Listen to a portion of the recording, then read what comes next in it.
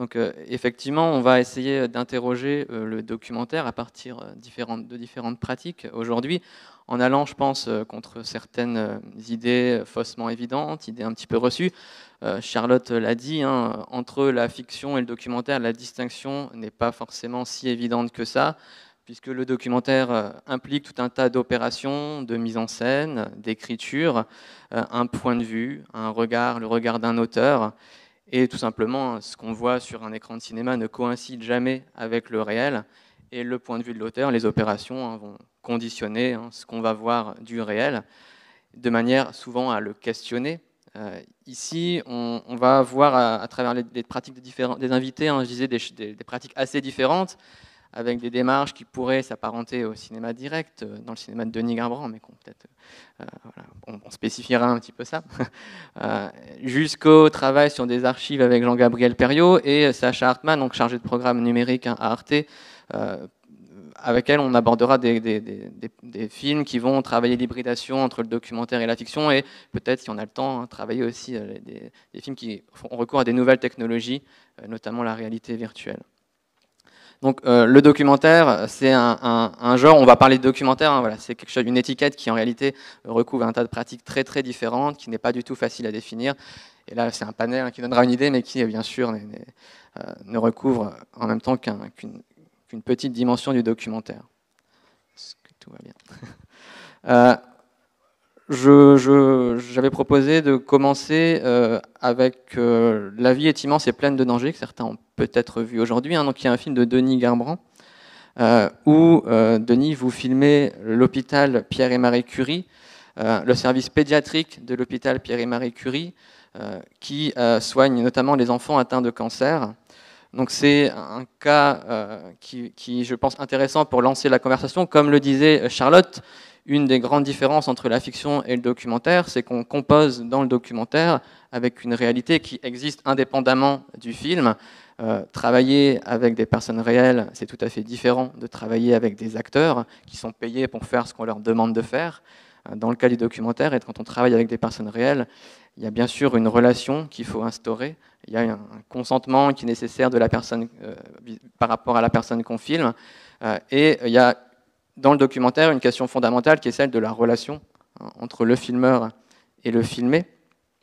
Et donc dans, dans, le cas de La vie est immense et pleine de dangers, hein, vous filmez un service, comme je le disais, qui est un service pédiatrique, euh, qui soigne des enfants atteints de cancer, il y a, une manière d'approcher une réalité qui est, presque tabou, hein, euh, qui fait ce, lien entre l'enfance et la maladie, quelque chose de très délicat à approcher. Et euh, bah, Denis Garbrand, il répond justement par une réflexion sur sa position de cinéaste, sur une manière de, penser l'approche des enfants qui sont dans le film. Alors on va aborder les choses pratiquement et je pense que le mieux c'est de passer un premier extrait de La vie est immense et pleine de dangers pour ensuite discuter justement de la position du cinéaste et de, la question de la parole dans le film. Donc je propose, c'est moi qui lance, je vais vous montrer un, extrait. Alors par contre, alors on est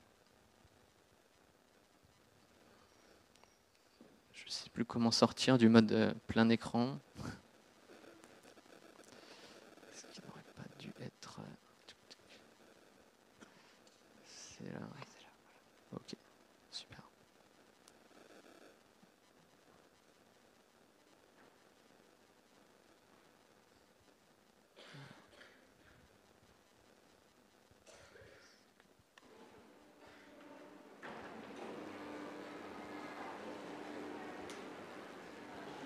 Est-ce que tes parents sont comme d'habitude euh, Non, ils sont un petit peu inquiets quand même. Ah Enfin, c'est normal parce que quand un enfant reste cinq mois euh, à l'hôpital, presque sans rentrer à la maison, c'est vrai que ça fait quand même un choc.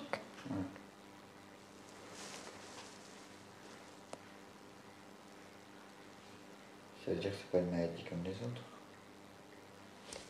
Bah, il y a aussi des maladies plus graves. Comme quoi bah, Le cancer, euh, le sida. Ouais.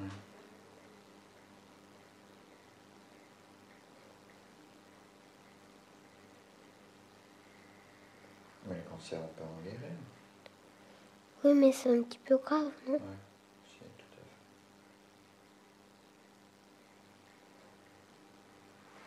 Qu'est-ce que ça fait découvrir de la vie hein C'est que la vie, c'est immense et il y a plein de dangers quand même.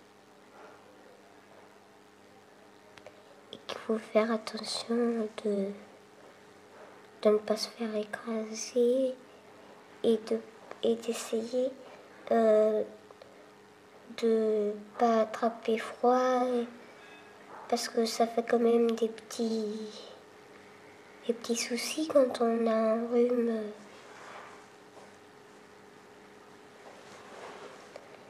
Parce que il faut prendre des médicaments et les médicaments c'est jamais bon. Et il faut, faut rester au lit toute la journée.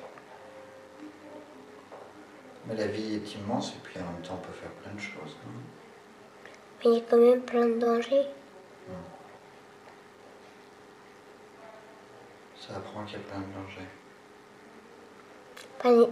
Je- à mon avis, il n'y a pas que cette maladie-là qui apprend. Les dangers, bien sûr. Alors ça va donner peur de la vie? Quoi?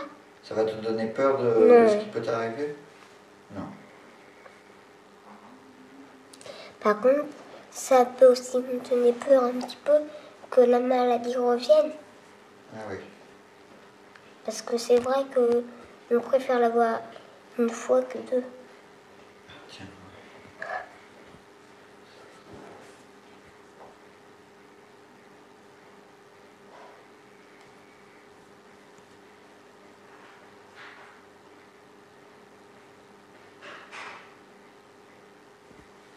La vie est immense t'es- tu es au début de ta vie, toi. Et je me demande comment c'est quand on est mort.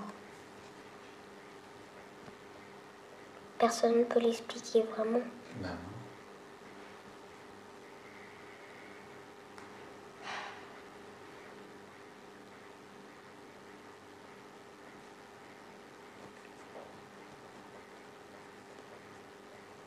Toi, tu vois ça comment? Euh, on va dans le ciel et qu'on fait une vie pareille que là, mais sauf que c'est qu'au lieu le soleil c'est dans le noir et c'est dans les étoiles, mais c'est comme s'il y avait le soleil.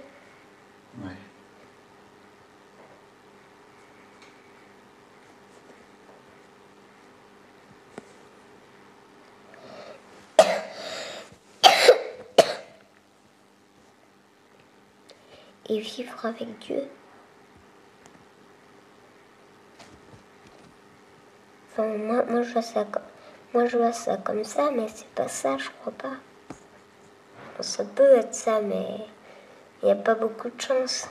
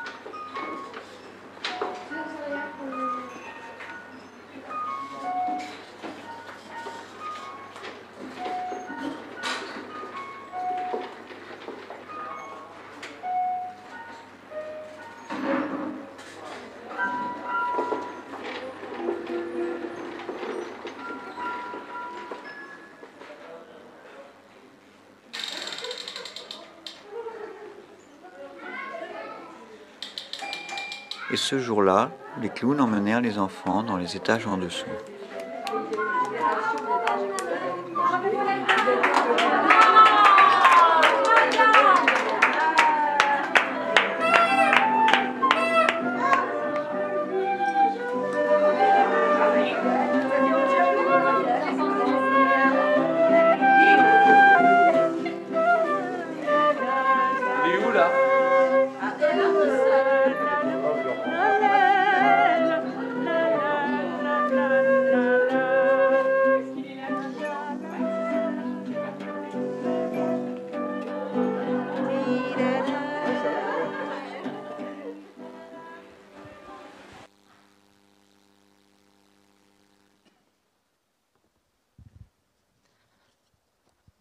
Dans cet extrait, peut-être ce qui, ce qui frappe d'abord, c'est la, la qualité de la parole de, de, Cédric. comment ça, c'est quelque chose qui se joue vraiment entre un filmeur et le filmé dans le temps de la prise, dans le temps d'une scène. Et on, on, pourrait se dire que c'est quelque chose qui se fait naturellement, de manière spontanée, mais justement c'est le fruit d'un travail. Et euh, on pourrait, je pense qu'une question récurrente hein, de, la table ronde pourrait être comment est-ce que le travail d'un cinéaste documentaire se distingue d'un travail journalistique, d'un travail d'entretien? Euh, peut-être on pourra revenir sur la scène et la relation avec Cédric en particulier, mais peut-être plus globalement, quand vous vous dites que vous allez filmer dans un hôpital, euh, comment est-ce que vous pensez votre place? Est-ce qu'il y a des, protocoles particuliers que vous mettez en place? Est-ce que vous discutez avec les gens de votre projet? Donc il y, a, des médecins, mais il y a aussi des enfants. Est-ce que vous avez des, approches spécifiques selon la place de chacun? Comment est-ce que vous-même, vous, en tant que cinéaste, vous, trouvez une place dans cet hôpital bah, Tout d'abord, je dois vous remercier de ne pas avoir coupé après euh, l'entretien de, Cédric, parce que euh, là, on est dans l'écriture du film, de, par les plans qui suivent, hein, les plans de, fenêtres qui reviennent souvent dans le film et qui donnent euh, leur résonance, qui donnent sa résonance à la parole de l'enfant. Euh, ça, ça me semblait essentiel. Euh, cette séquence, je l'ai tournée après deux ans de travail. Euh, donc, là, j'étais déjà deux mois d'enquête, repérage, avec à certains moments une caméra vidéo. et on n'était pas encore au numérique. Hein. Et, ça faisait trois mois Enfin, quand j'ai rencontré Cédric, euh, j'étais dans l'hôpital depuis trois mois. Euh, donc euh, là, ça fait déjà un grand, grand moment qu'on est ensemble avec Cédric. les, moments de, parole étaient des moments extrêmement ritualisés, très peu nombreux. Il y a cinq moments partagés avec de paroles avec, avec Cédric dans le film. C'est tous les moments qui ont été euh, filmés, il n'y en a pas d'autres. Euh, évidemment, euh, c'est monté, c'est raccourci. Hein. à chaque fois, donc, c'était une négociation.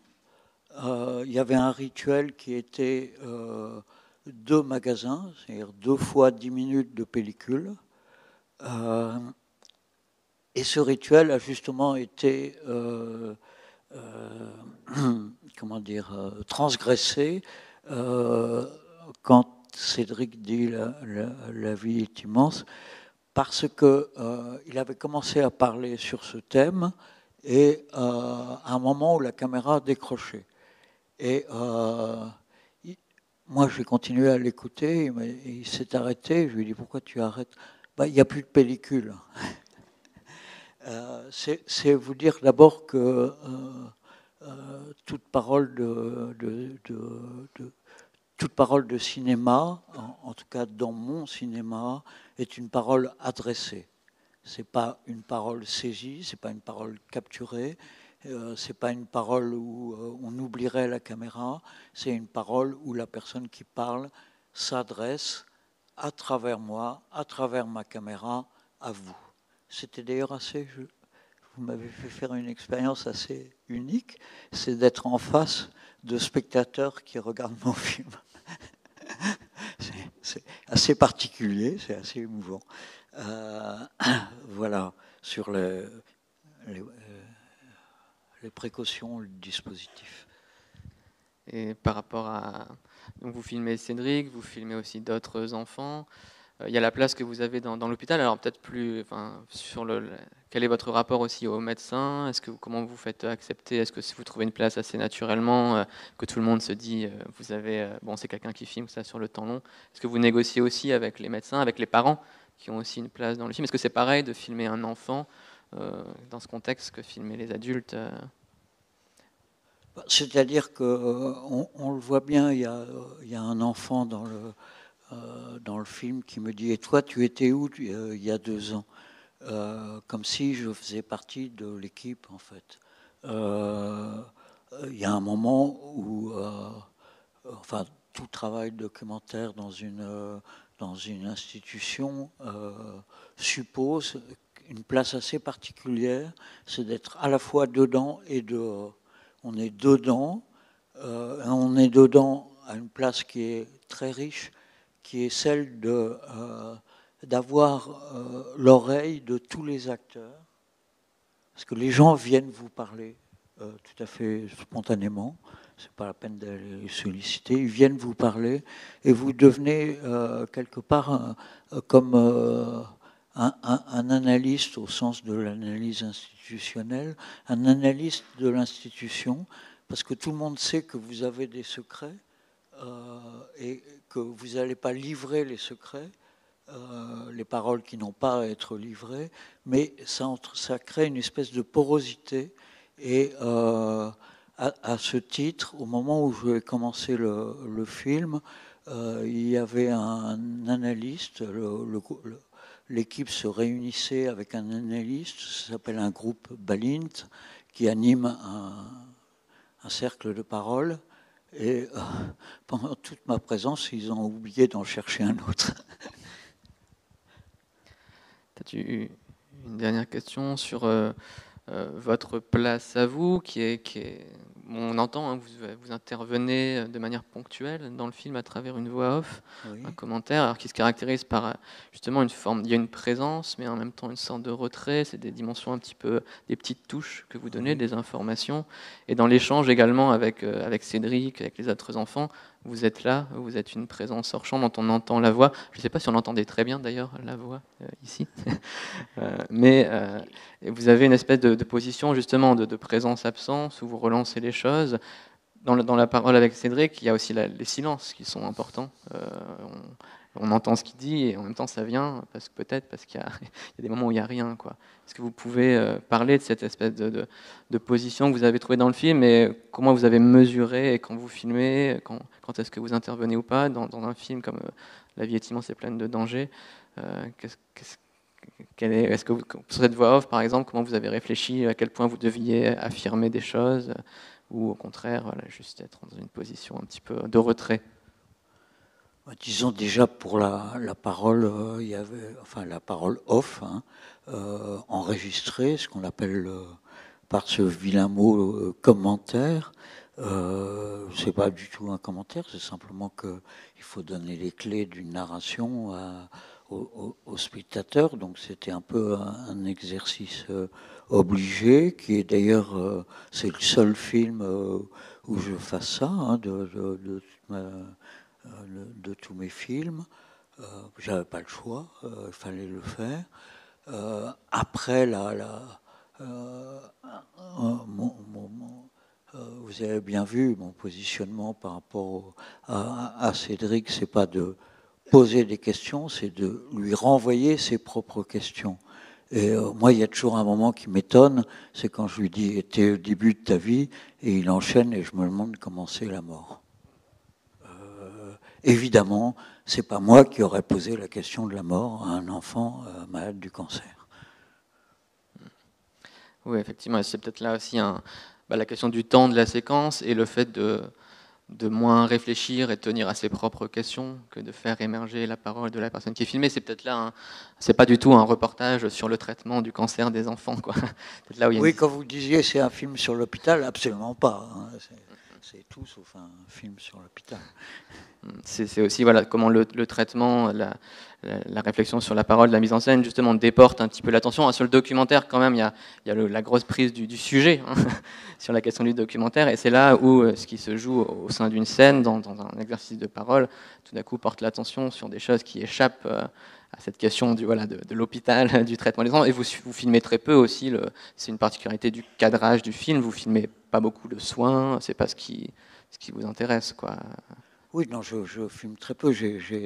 enfin, excusez-moi pour les personnes qui étaient là ce matin, je me répète, mais j'ai filmé euh, euh, deux magasins, c'est-à-dire 20 minutes par semaine pendant la totalité de mon, euh, de mon travail et de mon séjour, notamment à, à l'hôpital.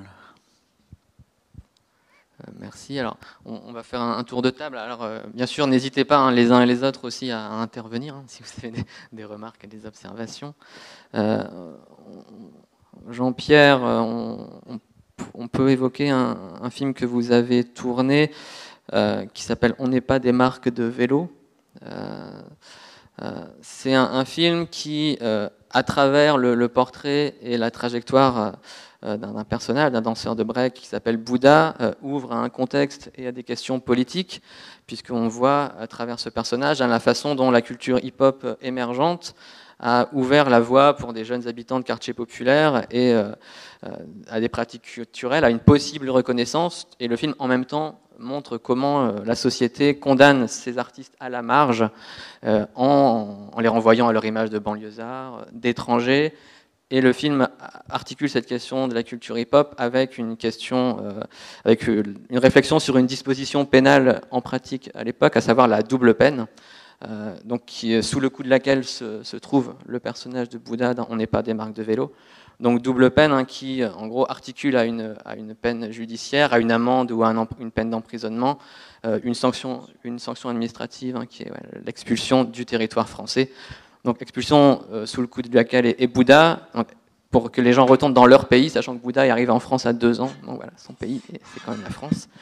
Euh, pour caractériser rapidement euh, vos films, hein, il, donne une grande place à des cultures et à des pratiques populaires, à leur mémoire et à leur présent, en faisant directement intervenir des protagonistes.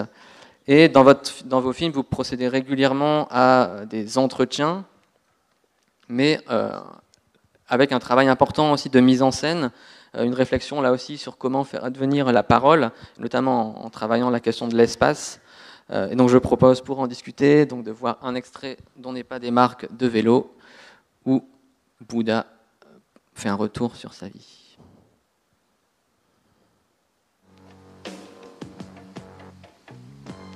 Accoutumance, dépendance, toxicomanie, illusion, inconscience, juvénile délinquance, procédure policière et judiciaire, verdict de double peine, cellule et mitard dans la moiteur. Pour sa première peine, la prison. Sa deuxième peine, l'expulsion. Sa troisième peine, l'interdiction de revoir ses parents, ses sœurs et ses frères et de retrouver ses repères, et de retrouver ses repères.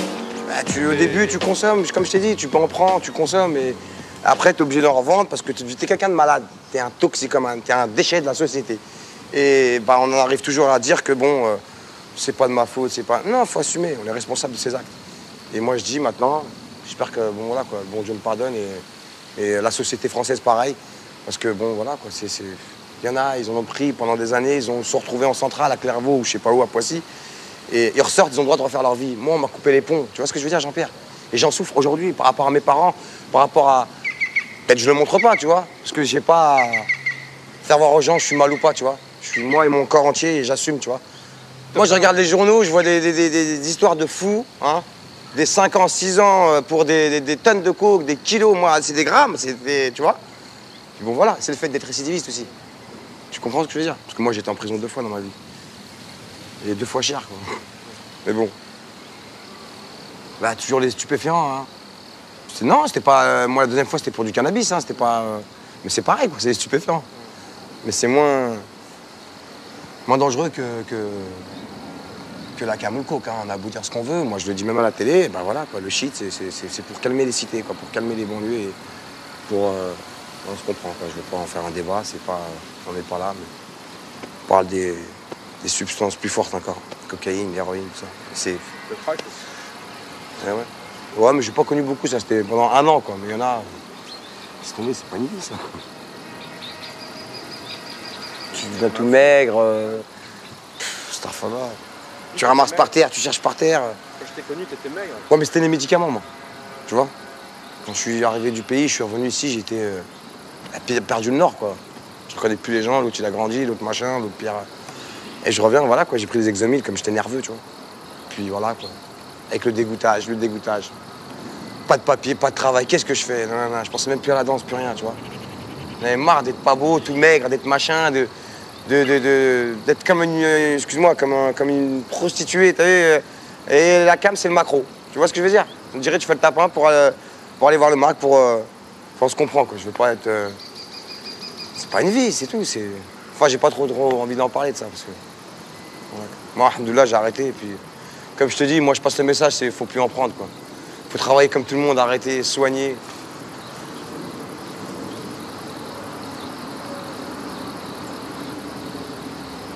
On vieillit, hein. moi j'ai 30 ans, ça y est, c'est bon quoi. Maman, j'ai une famille, maman, j'ai des enfants, je peux pas, j'ai pas le droit. Pour moi, j'ai pas le droit, à cause de la, double peine, tu vois. Voilà. J'espère que ça va, ça va, ça va se résoudre, Inch'Allah.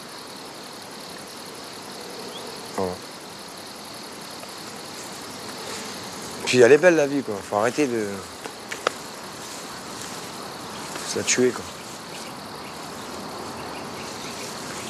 faut donner la chance à n'importe quel être humain, hein, qu'on peut se, réinsérer dans la société. Quand on veut, on peut. Voilà, quoi. L'avenir, c'est les jeunes. Hein. C'est eux. La danse, le break, le mouvement.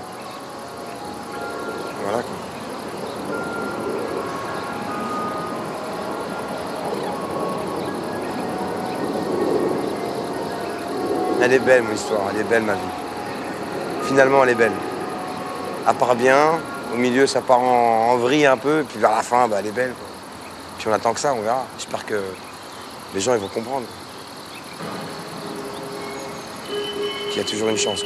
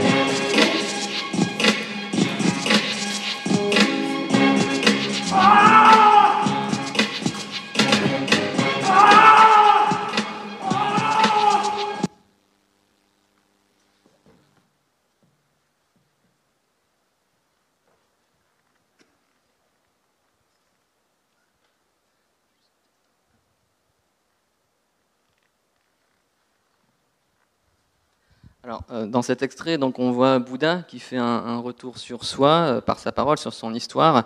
Et j'aimerais bien qu'on parle de comment vous avez réfléchi cette séquence et le choix de, cet environnement. Alors, c'est un film qui, se passe beaucoup dans des espaces urbains. Hein. Et cette séquence tranche parce qu'on passe dans un espace naturel. Donc là, je vous ai mis à l'écran euh, une séquence qui se situe au début du film où on voit Bouddha sur une passerelle. Et une autre séquence, alors on pourra peut-être reparler au moment de. On parlera aussi de la danse, hein, de la deuxième partie de l'extrait. Une autre scène de danse dans un autre type d'espace. Euh, est-ce que vous pourriez raconter un petit peu la, réflexion autour de cette scène Comment est-ce qu'elle s'est tournée et pourquoi euh, vous avez choisi de, tout d'un coup faire un écart vis-à-vis des espaces urbains? Donc je ne sais pas si. Je sais pas si vous ça marche? Oui Non. Je suis désolé. Oui, je ne sais pas si vous connaissez euh, la double peine, en fait, qui est une loi discriminatoire de l'État français qui colle euh, une expulsion du territoire euh, à des gamins. Là, c'était un gamin qui a été dans la cam et, donc Cadillé dans son quartier et c'était un danseur euh, célèbre euh, dans l'émission de Sydney HIP Et quand l'émission a été arrêtée, parce que euh, en fait la télé considérait qu'il n'y avait pas assez de blancs dans, dans le groupe qu'il y avait autour de Sydney, et au bout de 48 48 euh, épisodes, ça a été arrêté. Donc toute une jeunesse s'est engouffrée parce que c'était sur TF1 euh, à heure de grande écoute le dimanche. Euh, tout, et ce qui est étonnant, c'est on voit une émission de télé qui donne un espace à la jeunesse des quartiers populaires. En France, ça a été un boom. Toute la danse hip-hop est démarrée là-dessus. Voilà. Et donc, Bouddha a été un petit jeune euh, de ce groupe, était le plus jeune d'ailleurs. Euh, il devait avoir 12-13 ans. Et donc, euh, quand s'est arrêté l'émission, il, s'est mis à dealer pour aussi parce qu'il fait nourrir sa famille. Il faut voir aussi ce qui nous a nous posé des problèmes quand on a fait le film. C'est-à-dire, pour tourner le film, on a dû monter avec un avocat du Gisti le principe de lui donner des droits d'auteur parce que je considérais que c'était quand même, euh, on était tous, bon, on peut dire mal payés, mais enfin on était payés euh, dans le cadre d'une émission d'Arte, puisque c'est un grand format d'Arte euh, de Thierry Garel. Donc c'est un des films où j'ai eu le plus de, moyens pour le faire, mais voilà, ça a posé plein de problèmes éthiques. Il y a eu des débats après pour savoir si c'était normal. Moi, j'ai toujours dit à Bouddha, tu n'es pas payé pour la partie documentaire, mais pour ce qui est de faire des danses, puisqu'il en fait une, euh, euh, pour cette partie-là, les répétitions, c'est payé. Voilà. Et donc euh, Bouddha, moi je l'ai connu, j'ai une relation depuis des années avec lui, parce que j'avais d'abord un projet de, comédie musicale hip-hop, et c'était, il était un des trois premiers rôles. Et quand, euh, en fait, euh, le ministre de l'Intérieur de la gauche, Daniel Vaillant, euh, à l'époque, sous voilà, sur l'épisode de Jospin, on a reçu une lettre comme quoi il était un danger à l'ordre public et qu'il fallait l'expulser. Et on a été tous atterrés parce qu'on connaissait Bouddha, bon, et, et, du coup on s'est mobilisé pour faire un film. Pour moi, le film, c'est aussi euh, faire qu'il euh, ait ses papiers à l'issue du film. Ce qu'on est arrivé à faire trois ans après. Mais enfin, voilà. Euh, on l'a fait de manière très pragmatique pour obtenir ses papiers, qu'il soit régularisé, qu'il ait le droit de rester sur le territoire français. Alors, cette scène-là, dont je dis ce contexte, parce que pour voir la, partie mise en, dire, mise en scène du documentaire, c'est-à-dire, euh, Bouddha se protégeait en disant Mais j'ai rien fait. Or, moi, je, disais à Bouddha hein, et, les danseurs qui, étaient avec lui, qui répétaient avec lui, je disais T'as pas rien fait, euh, Bouddha. Euh, t'as as déconné, mais ce qui n'est pas normal, c'est qu'on t'ait expulsé. Mais tu peux pas dire que t'as rien fait. moi, ça aurait été mon gamin il faisait deux ans de tôle et après il, revenait dans la vie. C'est vraiment une peine parce que tu es un fils de, Tunisien et c'est une loi raciste de l'État français. Voilà. Et donc, pour arriver à cette scène que vous avez vue, que j'appelle la scène des aveux, on avait fait un premier tournage que la partie documentaire qui avait servi euh, au travail qu'on a fait avec un chorégraphe hip-hop qui est Farid Berki pour construire les danses. La danse que vous voyez est construite par rapport. Euh, donc c'est une partie fictionnelle, on va dire, qui pour moi c'est comme, euh, comme le théâtre de Brecht, c'est-à-dire à un moment donné, l'acteur arrête de jouer son rôle, il vient sur le devant de la scène, il parle au public. Et donc on a tout le long du film ces interventions. Euh, alors, le choix n'est pas, anodin. J'ai cherché longtemps pour trouver.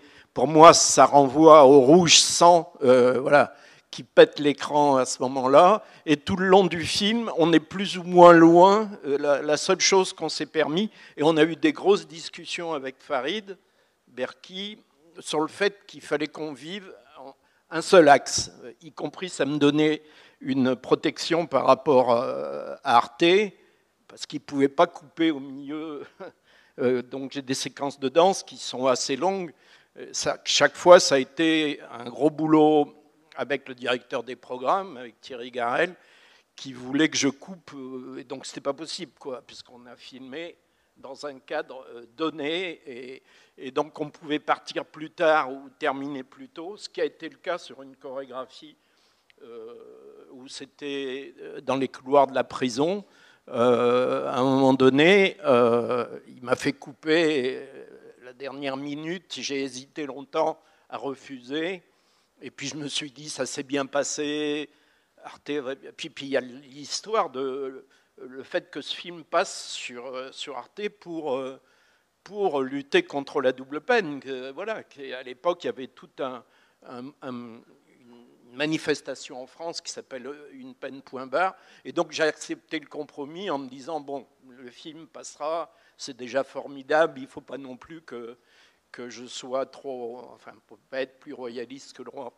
Et donc pour obtenir cette, cet aveu de, de Bouddha, je dis ça parce que beaucoup de gens, des fois, peuvent me...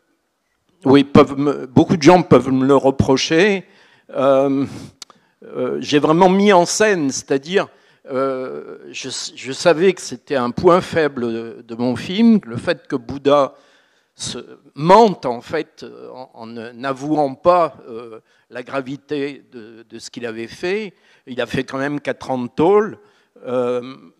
du coup, j'ai organisé un repas avec un autre danseur, Yasmine, qui venait de HB2, qui était un danseur qui dans d'autres chorégraphies avec Bouddha avait beaucoup donné, qui était un pote à Bouddha. On a dit à Ahmed, euh, enfin à Bouddha, propose-nous un resto. Donc c'était un resto sur les Champs-Élysées, une pizzeria où on mangeait très mal, mais bon, ça plaisait beaucoup à Bouddha.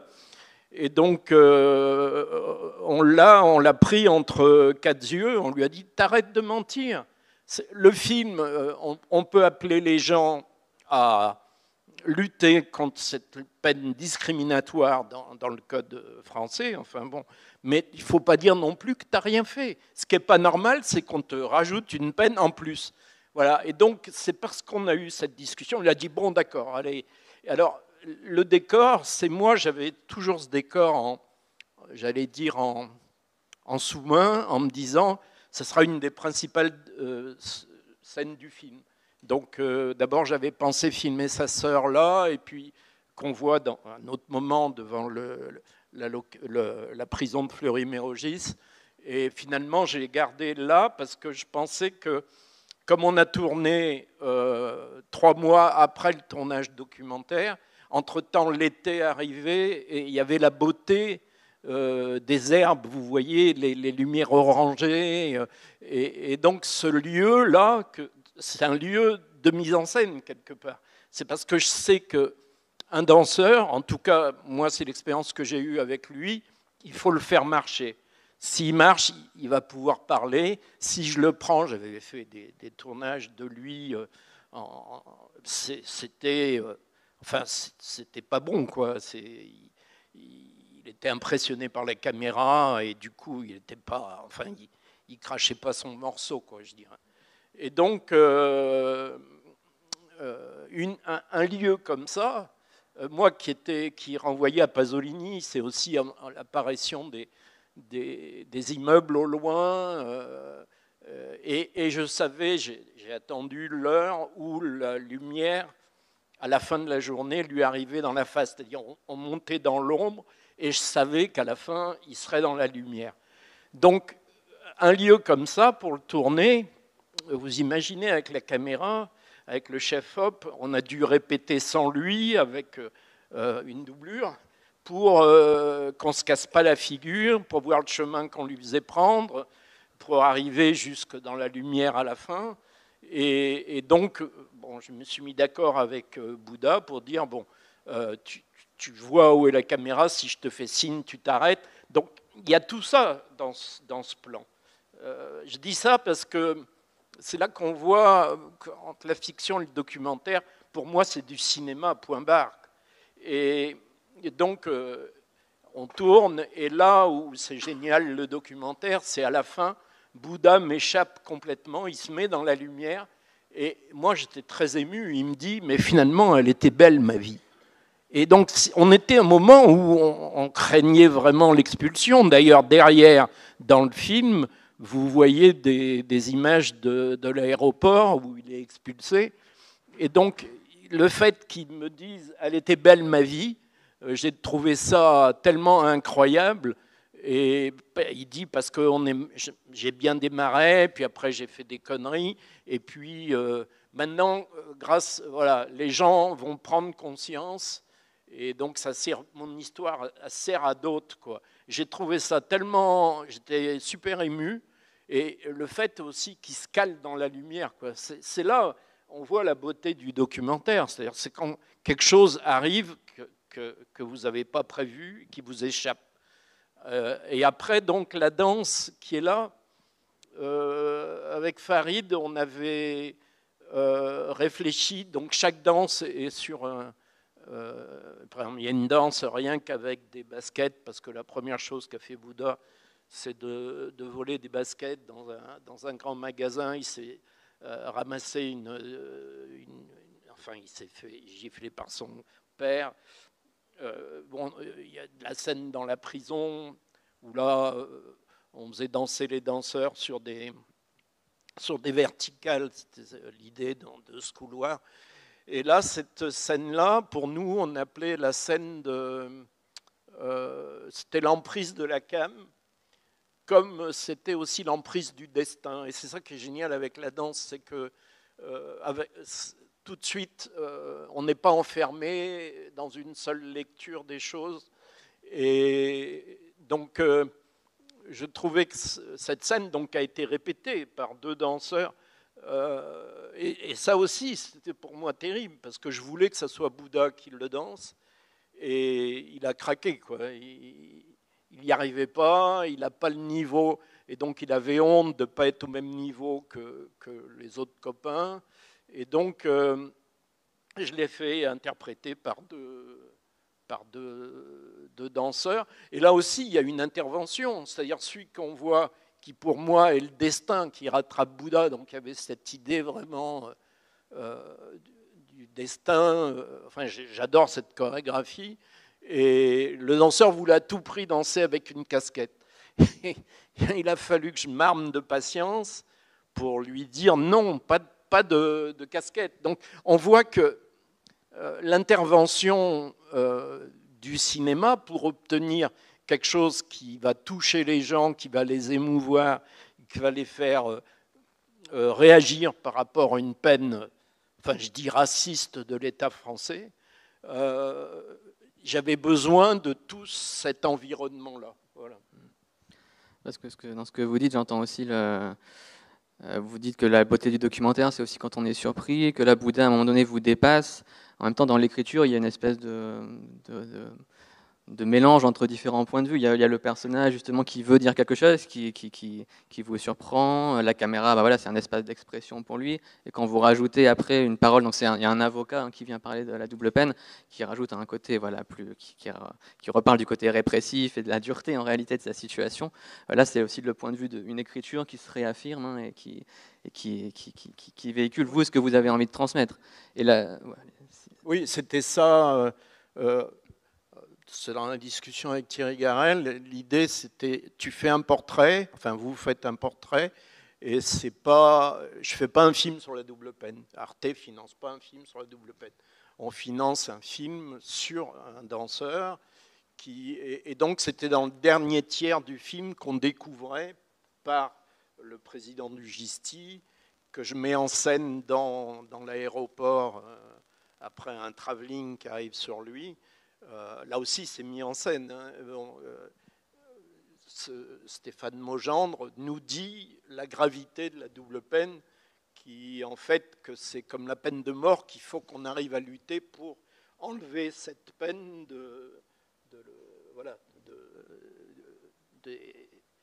enfin, et donc euh, moi le film euh, j'ai mis un temps infini à le faire parce que euh, euh, les chaînes de télévision, déjà pour avoir le rendez-vous avec Garel, c'est compliqué. et ensuite, il y avait un premier projet que j'ai donné.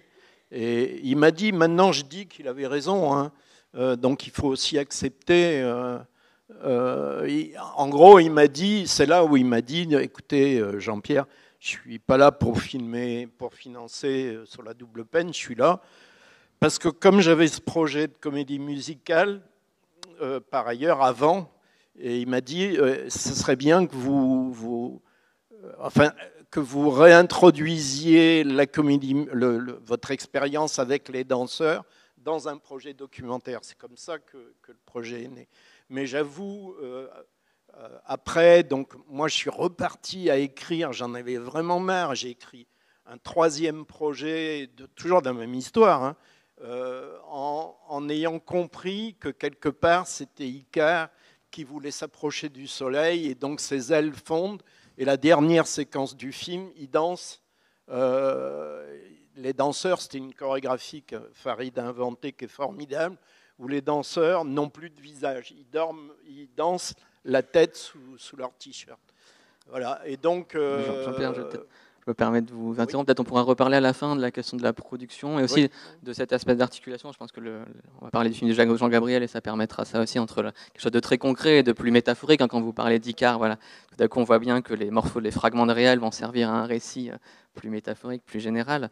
Mais je pense. C'est pour dire, on, écrit tellement qu'à un moment donné, j'ai dit à Garel, ben, la prochaine fois, je vais faire euh, au service des téléfilms.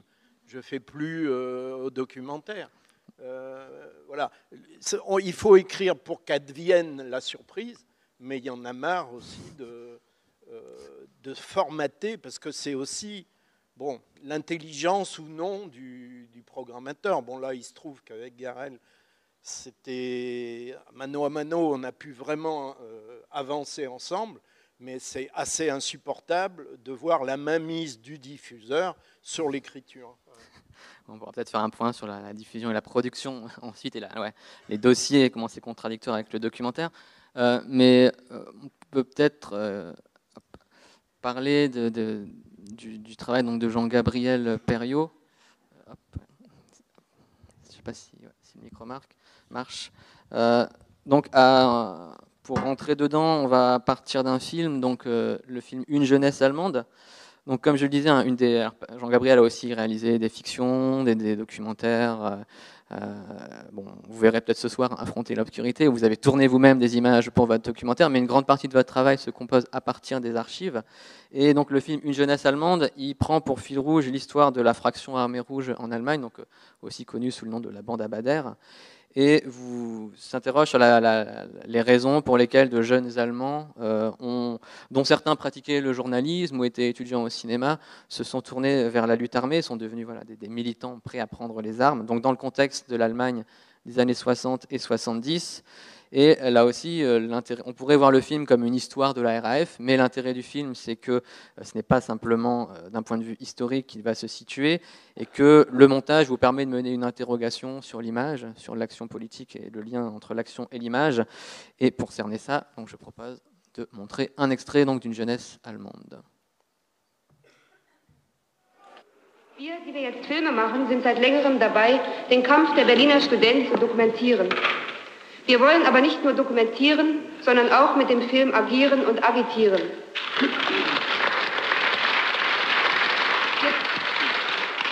Wir tun nicht mehr so, als gäbe es eine wertfreie, objektive Berichterstattung. Die Darstellung über die inneren Vorgänge unserer Bewegung wird nur denen vorbehalten sein, die an ihr teilnehmen. Diese Teilnahme hat uns verändert. Diese Veränderung wird auf unsere spezifischen Arbeitsbedingungen zurückwirken.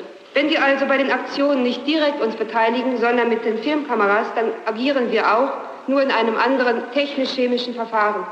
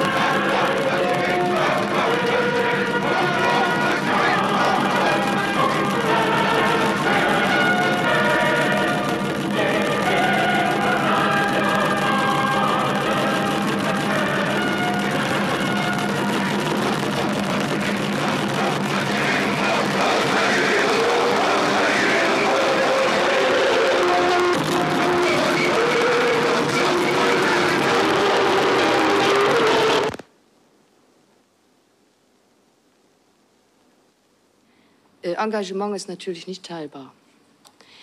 Deswegen redet ja auch die Springerpresse so gerne von Engagement und die Provinzpresse. Und alle haben es wahnsinnig gerne, dass die Jugend sich engagiert. Und stellen dann allerdings in verblüffender Übereinstimmung immer die Frage, es kommt bloß auf an, wofür. Äh, und die, das ist die Frage, die wir zu beantworten uns angeschickt haben. Nämlich für eine Rationalität im Sinne von Menschlichkeit. Und deswegen sind wir nicht engagiert gegen zum Beispiel, wie Herr Hausen das, glaube ich, gesagt hat, gegen den Krieg im Allgemeinen, sondern wir sind engagiert für diejenigen, die sich versuchen zu befreien von Terror und Gewalt. Und wenn ein anderes Mittel als das des Krieges ihnen nicht übrig bleibt, dann sind wir für ihren Krieg. Frau Meinhof, meine Frage schließt sich an das jetzt gerade erörterte an. Ich weiß nicht, ob Sie äh, die Zeit des sogenannten Dritten Reiches also eine totalitäre Herrschaft in Deutschland, bewusst miterlebt haben? Ich nehme an, eher nein. Äh, ich habe es und weiß den Unterschied äh, zu schätzen und zu würdigen. Meine Frage, Frau Meinhof, glauben Sie, dass die demokratische Auseinandersetzung sich zweckmäßigerweise oder gar ausschließlich auf der Straße abspielen sollte?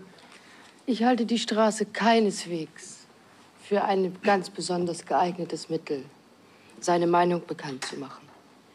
Wenn man aber, einem aber nichts anderes übrig bleibt, wenn man also nicht im Fernsehen sitzt und wenigstens ein oder zweimal in der Woche ein oder zwei Stunden lang genau sagen kann, was man zu sagen hat, wenn man nicht über die Millionen Auflagen von Springer-Zeitungen und Illustrierten verfügt, wenn man dann, wenn man öffentlich diskutieren will, auf Raumverbote stößt und auf Versammlungsverbote, wenn man dann, wenn man demonstrieren will, auf Demonstrationsverbote, obwohl es sich da ja schon um die Straße handelt, aber wir wissen ja, dass der bevorstehende Vietnamkongress an diesem Wochenende bereits mit solchen Verboten zu rechnen hat, dann bin ich es allerdings der Ansicht, dass es außerordentlich demokratisch ist, wenn es Leute gibt, die trotz all dieser Verbote die einzige Öffentlichkeit, die dann für sie bleibt, nämlich die der Straße, benutzen und davon öffentlich Gebrauch machen. Gut, jetzt ist Horst dran. Erstens, die Polizei duldet die Demonstration, obwohl sie illegal ist, um der Konfrontation, die auch für den Senat außerordentlich peinlich sein wird, aus dem Wege zu gehen. Dann ist die Brücke Hallensee für uns kein Hindernis. Oder die Polizei setzt die ihr zur Verfügung stehenden Machtmittel ein. Dann stehen hier bei 20.000 aktiven Polizisten in Berlin für diesen Einsatz unter Aufrechterhaltung des übrigen Ordnungsdienstes in dieser Stadt mindestens 10.000 bis 15.000 Mann zur Verfügung. Wenn galoppierende Reiter oder rennende Polizisten auf uns einstürmen, dass wir dann keinen Sitzstreik machen, das war geradezu Beschluss, keinen Sitzstreik zu machen, sondern wirklich dann versuchen, offensiv durchzukommen. Hier ist der 26-jährige Student Rudi Dutschke heute niedergeschossen worden. Ein Mann hatte ihn vom Fahrrad gezerrt und ihm mit einer Pistole dreimal ins Gesicht geschossen. Als Täter wurde der 23-jährige Anstreicher Josef Bachmann festgenommen, der angab, Dutschke nicht leiden zu können, weil er Kommunist sei. Dutschke gilt seit einem Jahr als Repräsentant der radikalen Studenten, die für eine Änderung der gesellschaftlichen Verhältnisse in der Bundesrepublik eintreten.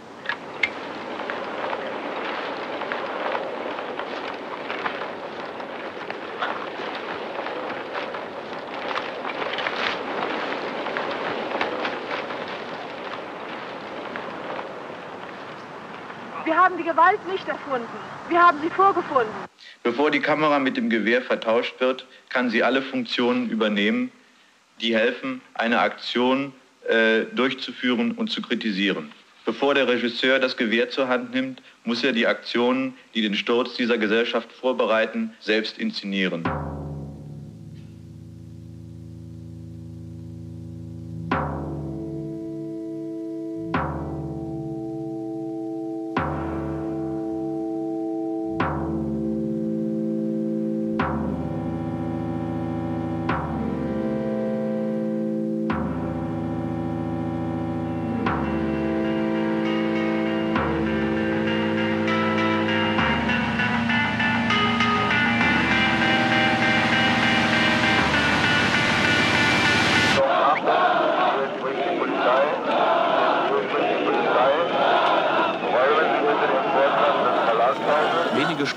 Dem Attentat auf Rudi Dutschke marschierten Studenten vor das Springerhaus in Berlin.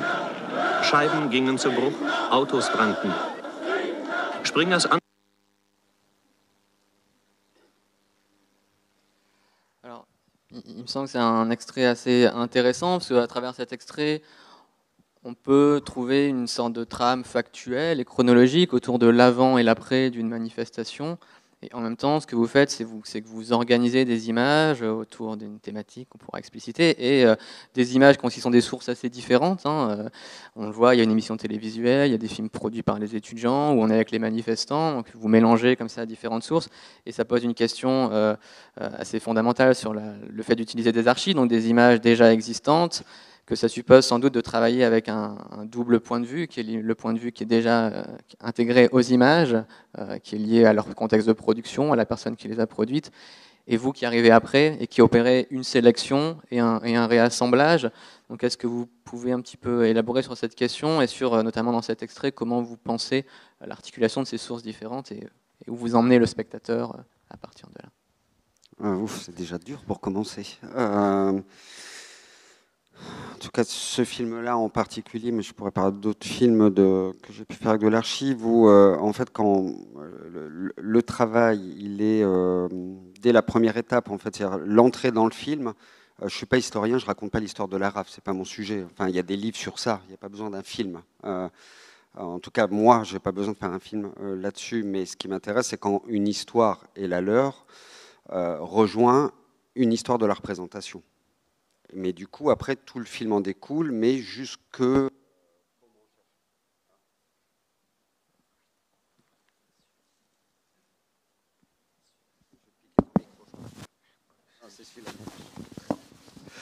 Euh, C'est-à-dire que tout, le travail à la fois de recherche d'images, de sélection d'images et du montage découle en permanence d'un double mouvement. Ça veut dire qu'est-ce que les extraits, euh, comment ils nous renseignent, enfin comment moi ils me renseignent sur euh, une histoire des images, que comment, euh, comment un même événement est raconté effectivement par la télé, euh, par un, étudiant qui fait un film militant, par quelqu'un qui en parle en direct. On voit là dans le film, sur, comme ça, sur très peu de temps, un- une variété de positions filmiques, audiovisuelles autour d'une même série d'événements. et de leur il y a ça, et l'autre, c'est effectivement, on va dire là, dans ce film-là, par exemple, une chronologie. C'est-à-dire que là, on voit des images qui sont dans l'ordre des événements, dans l'ordre de leur réalisation. Il n'y a aucun film a posteriori sur les événements. On est toujours au présent de l'indicatif. Et, euh, le travail, donc là, là on ne voit pas tout à fait les personnages, mais sinon, on tisse la vie aussi, l'aspect biographique euh, des, fondateurs de, la RAF. Et, mais en même temps, en tout cas dans le travail, je ne détricote jamais ce qui serait de l'ordre du contenu ou du contenant. Et les deux, euh, après, alors trouver une espèce de justesse qui fait qu'on arrive à suivre une histoire et qu'en même temps, on, avec ce matériel très différent, ça prend du temps. Mais en tout cas, voilà l'idée. La, seule exception dans ce film où par moment, euh, je n'utilise les extraits que pour leur aspect indicatif, c'est quand, pour le public qui n'est pas germanophone, je dois expliquer qui est Springer, donc là, vous pour ceux qui ne le connaissent pas, vous avez vu d'un coup, il y a Springer cité trois fois. Dans le film en entier, il y a un moment, un clip euh, d'une émission française qui explique qui est Springer. Voilà, il y a deux, trois moments où j'étais obligé, euh, comme quand tu parlais de la voix off, ça veut dire de donner deux, trois indications qui fait que sinon on ne peut pas suivre le film. En tout cas, ça se, voilà, ça se, ça se détricote. Enfin, les deux, les deux mouvements vont ensemble. Je ne les dissocie pas, en tout cas moi, dans le, dans le travail ou dans la fabrication.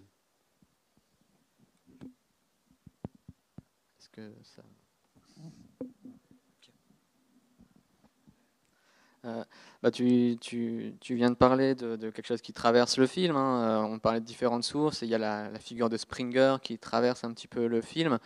Euh, donc il raconte l'histoire de l'ARF, mais il raconte aussi vraiment, le film raconte aussi l'opposition de, différents régimes d'image et d'occupation d'un espace.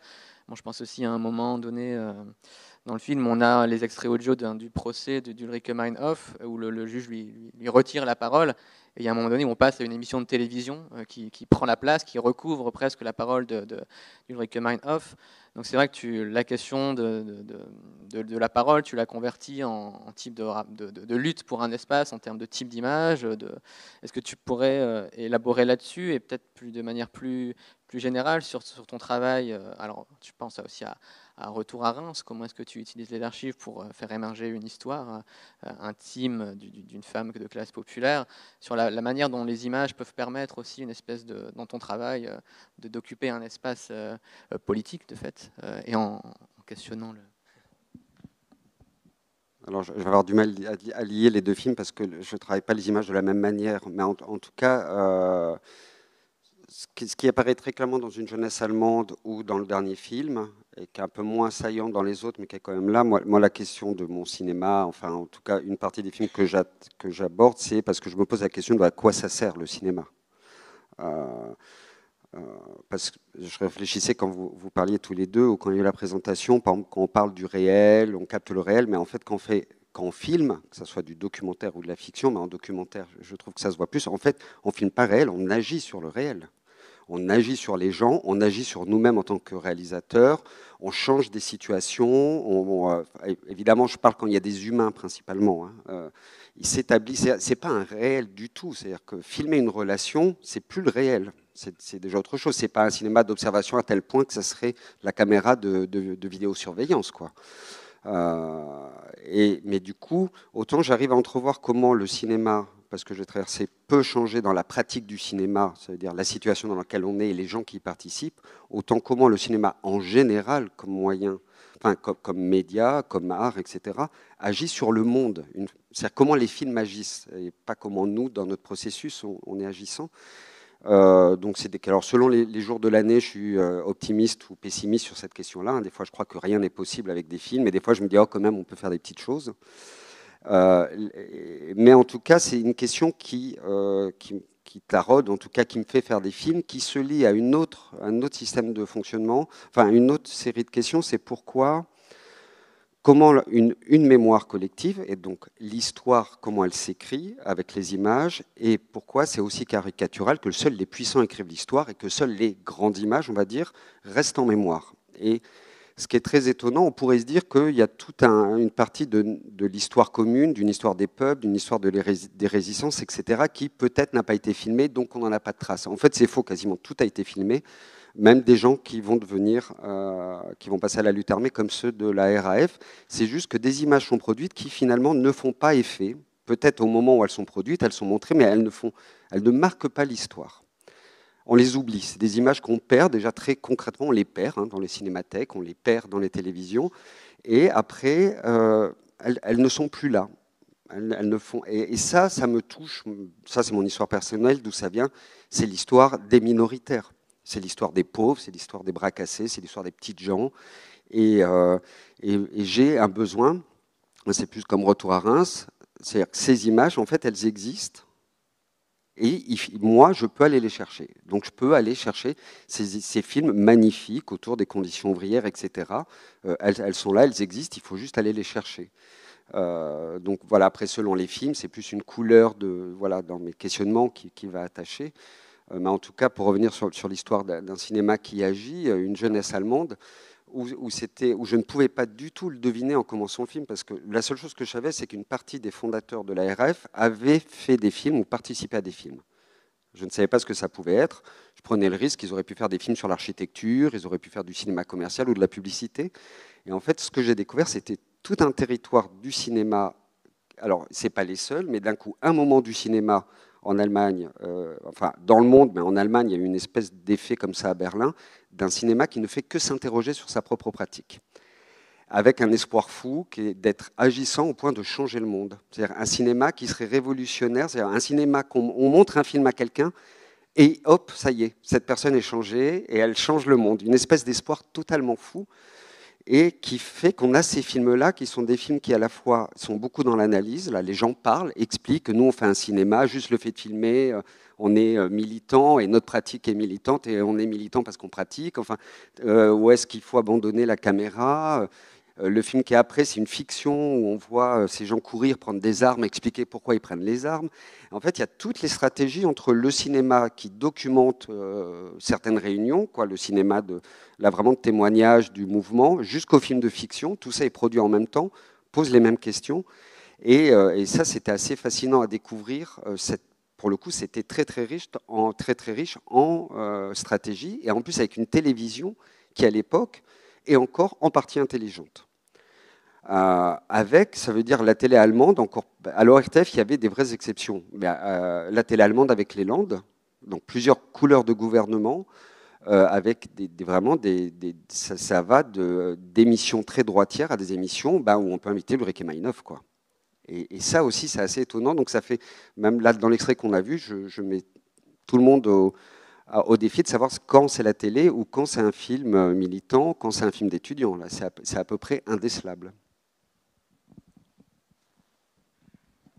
Après, dans, dans, le panel de la télé, on a elle a du temps pour répondre, pour parler. On voit qu'elle est devant un panel d'hommes, le, dispositif est quand même austère et la place en situation de minorité tout de même.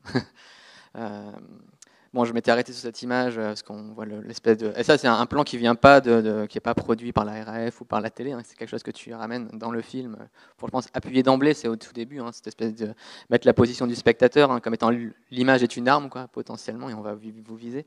Jean-Pierre, vous vouliez voudrais poser une question à Jean-Gabriel. Euh, il y a un, moment, euh, un plan extraordinaire, je trouve, où, il y a les allumettes avec la cigarette qui se consume. Je voulais savoir, ça vient, c'est toi qui l'as mis en scène ou ça vient d'une archive? Parce que ça a vraiment la, la, même fonction que moi quand je mets la danse euh, à côté. C'est une espèce de contrepoint qui aide à, voilà, qui, j'ai trouvé ça assez génial, je t'avoue. En fait, dans, Une jeunesse allemande, je n'interviens pas. Enfin, je, raccourcis les pièces, évidemment, c'est des extraits, mais c'est des extraits in extenso que j'ai seulement remonté de temps en temps quand il manquait une intro, un dialogue, une chose comme ça. Mais ça, c'est vraiment un extrait in extenso d'un court métrage qui est monté comme ça avec cette allumette, la manif qui revient, qui finit par le, les, journaux Springer. Donc ça, c'est vraiment monté. La seule chose qu'on a fait avec l'auteur, euh, qui est... Euh, en fait, il a perdu. Le, film était un peu plus long. Vous voyez, des usines fabriquaient les allumettes avant. Et en fait, le produit qui sert à faire ces allumettes est la même composition que le napalm ou que ce qu'on met sur les pellicules euh, filmiques. Et il y avait une voix off qui très, euh, comme à l'époque, qui parlait beaucoup et qui racontait que du coup, euh, faire un film, envoyer du napalm ou brûler des allumettes, on était dans le même registre. Euh, c'est un film, euh, donc c'est comme celui-là, ils sont beaucoup contre le cinéma américain, l'utilisation propagandiste à leurs yeux. de, donc là, là même jusqu'à la pellicule, qui est le même composant que le napalm, donc contre l'impérialisme américain. Et la seule intervention qu'on a dû faire, c'est que le son a été perdu. Donc Thomas m'a autorisé à le musiquer, de mettre une musique parce qu'on n'avait plus du tout la voix off euh, originale du film. Il se, se rappelait même plus quand est-ce qu'elle était cette voix off et si à la fin il y en avait ou pas.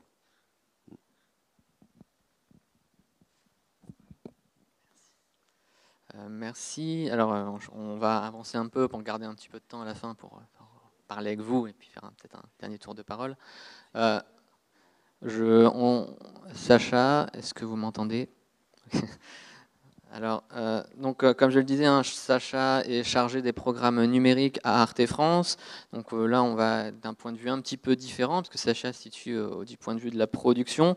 Et donc, une des particularités hein, des, programmes numériques d'Arte, c'est que, comme l'indique un peu le titre, hein, il s'agit d'expérimenter des formats et des modes de diffusion également différents par rapport au cinéma, des formats courts, des diffusions sur les réseaux sociaux.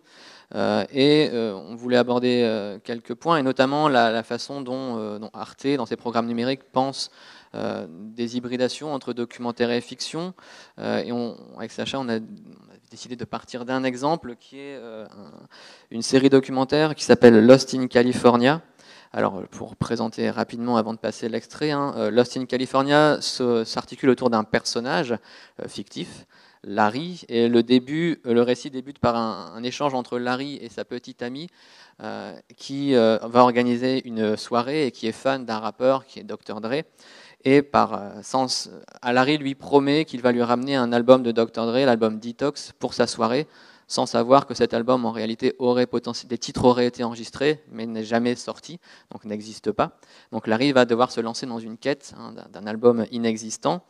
Euh, il va se mettre en quête de l'album. Et donc, une des particularités de Lost in California, c'est qu'il utilise une trame de fiction hein, euh, autour d'un personnage et de sa quête, et euh, va aussi utiliser différents procédés. Alors, on ne le verra pas, on l'entendra un petit peu dans l'extrait, mais il y a une voix off omnisciente d'une entité appelée Rap God, le dieu du rap. Donc, il se, sert d'une trame scénaristique pour opérer une plongée documentaire dans la Californie et le monde du rap. Alors, je vous passe un extrait et après on en discute.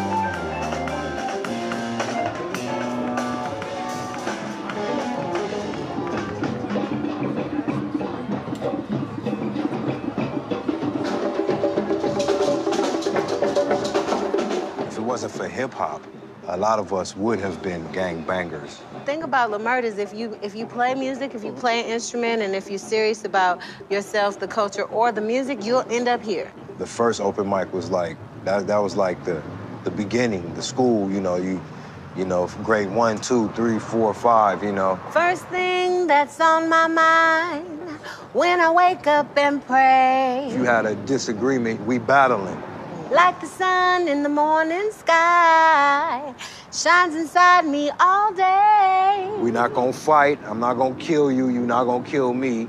We're gonna battle. Even in my darkest nights, I still know that it's there. A lot of apologies that happened on this block.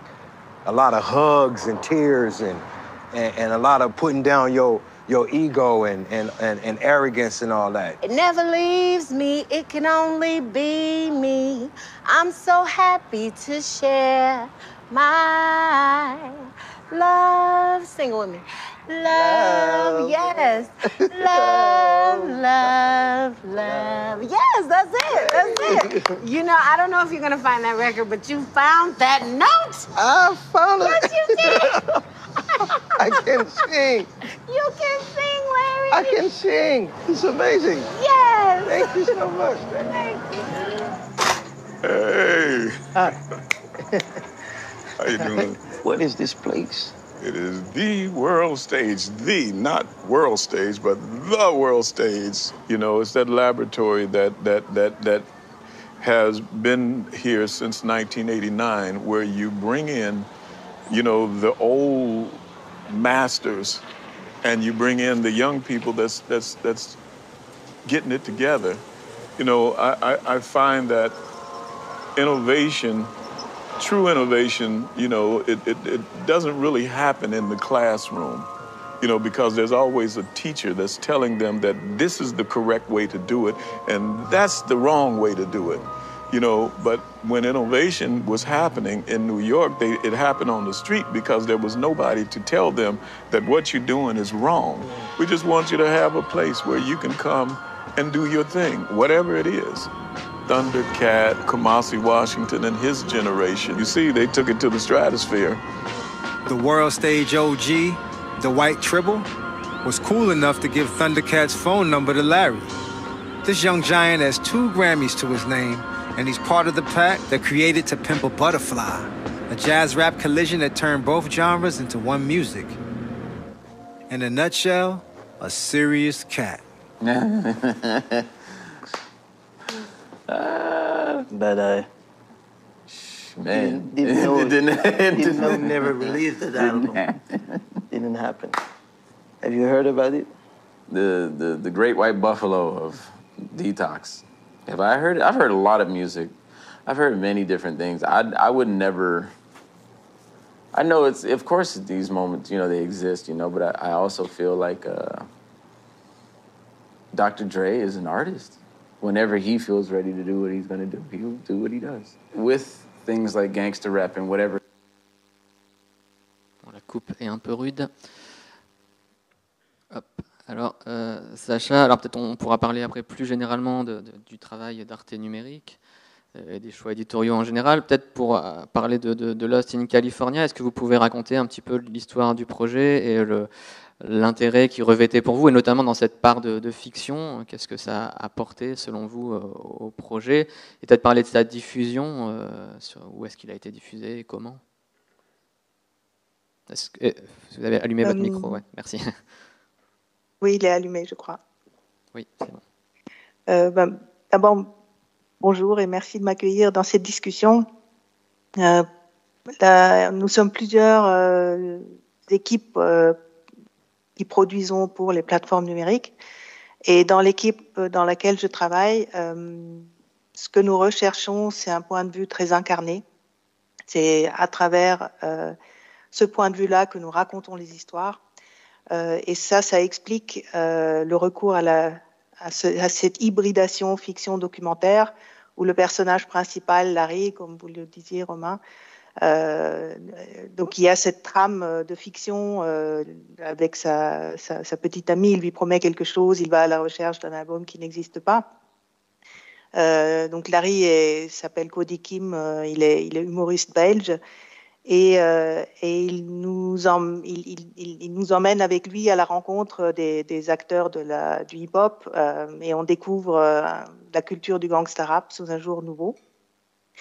Les personnes, donc, si, ce personnage de fiction n'avait pas existé, ça aurait été un document, documentaire alors un regard plus objectif. Euh, et là, ça aurait été euh, une autre façon de le raconter, un, une autre narration, un autre format. Ça aurait été une autre équipe aussi.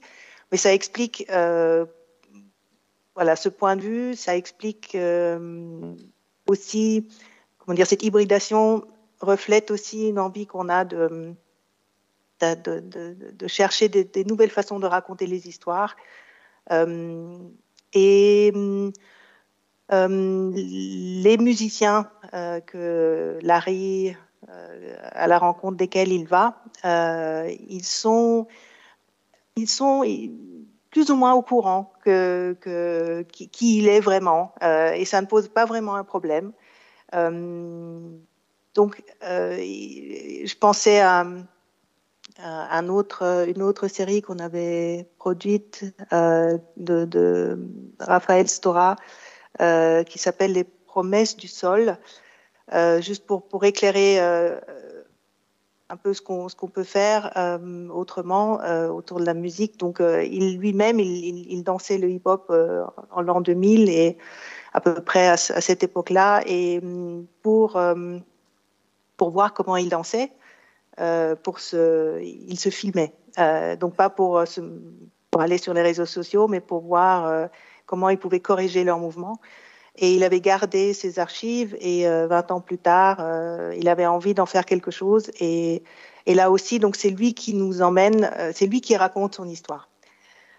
donc c'est ce point de vue-là qui, qui explique euh, qu'on a fait avec Lost in California, qui est la suite de Lost in Traplanta. Euh, donc ça avait super bien marché. On a gagné aussi des prix dans des festivals de documentaires et de fiction. Euh, et mm, oui, voilà, dans les grandes lignes, c'est sur arte.tv, donc c'est un format 16 neuvième, euh, donc dans notre player propriétaire et sur YouTube. Voilà. On fait très rarement des saisons 2, peut-être je peux ajouter ça. Euh, donc Lost in California est une suite de Lost in Traplanta. C'est rare qu'on voilà, qu'on fasse des suites ou des saisons 2 parce qu'on souhaite mettre notre argent, notre, notre temps dans, dans l'exploration de, plutôt de, de, nouveautés, que ce soit les histoires, les formats, les narrations, les usages. Euh, peut-être on pourra parler des formats courts, mais juste pour. Euh, vous disiez que les, ceux qui travaillent dans, l'industrie du rap, qui rencontrent Larry, sont un petit peu mis dans la confidence euh, du dispositif, du fait que Larry incarne un personnage fictif. Il y a aussi des, rencontres avec des habitants, des rencontres qui tiennent plus du hasard. Est-ce que vous savez comment ça s'est passé? Est-ce que là, on est dans un dispositif où la caméra reste à distance et où on enregistre les choses de manière spontanée? Ou est-ce qu'il y a aussi, on les fait entrer dans une mise en scène en, en, induisant une sorte de complicité, en leur racontant euh, ce à quoi ils participent? Est-ce que vous savez, avec les habitants, comment ça s'est passé Est-ce que c'est des choses qui existent depuis, on pense à un exemple beaucoup plus classique, un Robert Kramer, euh, Route One USA, un documentaire, voilà, un truc un très intéressant, très différent, mais où Robert Kramer avait un personnage fictif, un doc, et quand il rencontrait des gens, il leur racontait, c'est un acteur qui joue doc, et puis je vais, euh, vous allez, je vais vous intégrer à la mise en scène. Donc c'est une espèce de transparence, hein, de complicité. Est-ce que là, vous savez, euh, avec les habitants, comment ça s'est passé à ma connaissance, je n'ai pas accompagné ce projet moi-même, donc je ne connais pas tous les détails, mais à ma connaissance, euh, il, Larry a, a ce talent d'aller vers les gens et de les faire parler. Euh, et, et je pense pas qu'il s'est toujours, il n'a pas toujours déclaré. Euh, voilà, il a dit un peu, voilà, je suis à la quête de cet album. Euh, Qu'est-ce que vous en savez? Est-ce que vous pouvez me faire rencontrer les personnes? Où est-ce que je peux trouver? Donc il est, il est dans cette quête-là, dans ce qu'il en dit. Euh, et s'il y a des doutes ou des questions, là, il peut en dire plus. Mais euh, voilà, il a, une façon très spontanée aussi de faire, de, faire parler les habitants, de, lui-même chanter. Et, euh, et en même temps, pour le public que nous sommes, voilà, les regards caméra qu'il peut avoir nous indiquent aussi qu'il est voilà, qu'il nous parle, qu'il est, qu'on n'est pas dans un, dans un pur documentaire.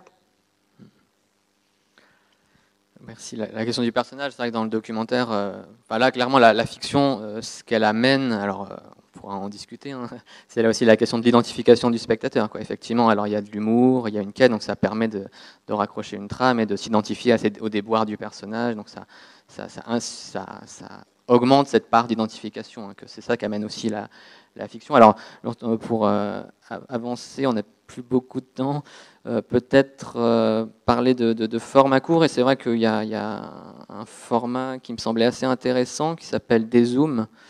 Euh, alors peut-être je vais en Dézoom. Euh, c'est un format très court. Peut-être je vais m'en montrer deux minutes juste l'aspect visuel pour pouvoir en discuter. vous allez voir, voilà, c'est encore quelque chose d'assez différent dans le parti pris, puisque c'est vraiment justement basé sur l'idée qu'on va montrer, qu'on va faire voir quelque chose.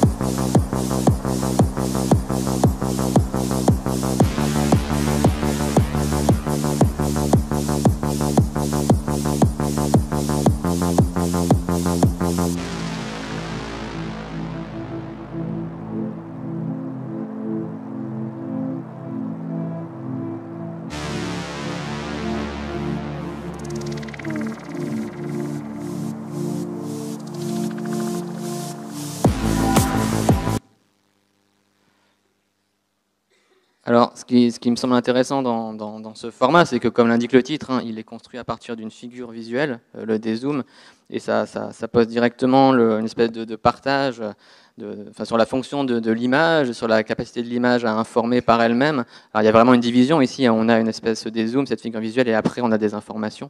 Euh, c'est ce, qui, ce qui nous est donné, mais est-ce que vous pouvez euh, revenir sur le choix de, défendre ce format, et aussi là, ce que ça, ce que ça a apporté dans vos programmes? Oui, ce qui nous a semblé vraiment intéressant, c'est euh, de partir euh, du, de la Terre vers le ciel, du particulier vers le général, du, de l'échelle individuelle euh, vers un point de vue global autour d'une réalité qui est la crise écologique globalisée. Et, et ça, c'est une question, c'est vraiment la grande backstory, c'est ce, ce, le dérèglement climatique, euh, la chute de la biodiversité et, dans, les fictions aussi, c'est une question qu'on se pose. Donc, comment on peut en parler euh, euh, sans l'adresser de façon frontale ou sans l'expliquer, parce que à nouveau, ce n'est pas notre ligne éditoriale, mais montrer, avoir un impact non seulement rationnel, mais émotionnel, sensitif et ce qu'on trouvait intéressant, c'est que tout est filmé au drone. Euh, c'est comment, euh, comment voilà, on, mesure l'ampleur en, dézoomant et en prenant de l'altitude, on mesure l'ampleur de, euh, de, ce que l'homme, de l'impact de l'homme euh, sur, sur les.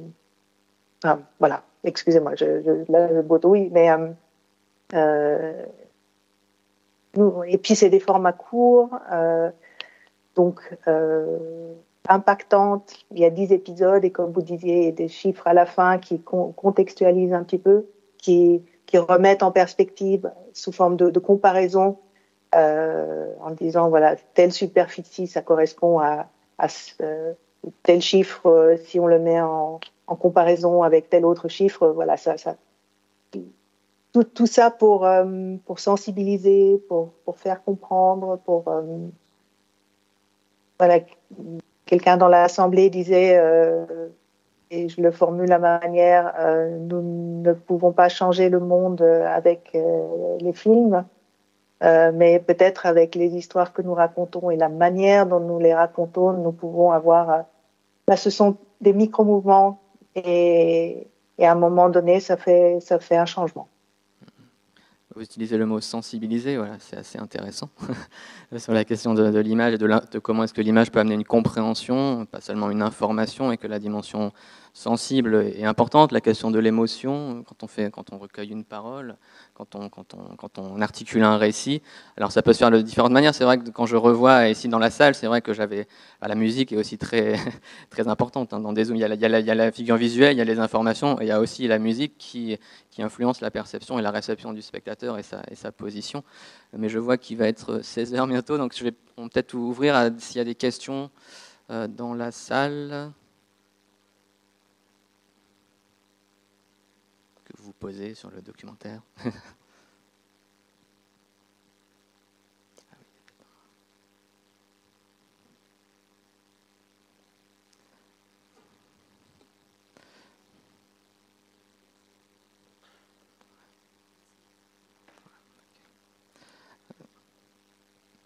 sur, euh, sur la question du, du justement de, de ah, c'est un petit peu apparu dans les, dans les, euh, dans la discussion, euh, mais sur la question de, comment est-ce qu'on pense une, fonction euh, du, cinéma, ou comment est-ce qu'on travaille la, position du spectateur. Est-ce que vous, c'est déjà ce qui vous euh, qui, informe vraiment votre travail où vous réalisez les films, la question du spectateur et de l'impact des, films, et notamment du cinéma documentaire, ou est-ce que c'est une chose qui est secondaire